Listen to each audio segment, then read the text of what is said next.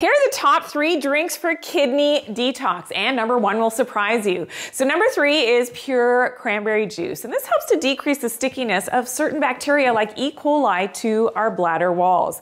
Number two is water, but add some lemon in there because lemons contain citrate or citric acid, which can help to inhibit the growth and aggregation of crystals that form kidney stones. And number one, coffee. So recent clinical research published in 2022 in the journal Kidney International Reports suggests that this may help to keep your kidneys healthy. The researchers found that people who drank any amount of coffee had an 11% lower risk of developing acute kidney injury like renal failure.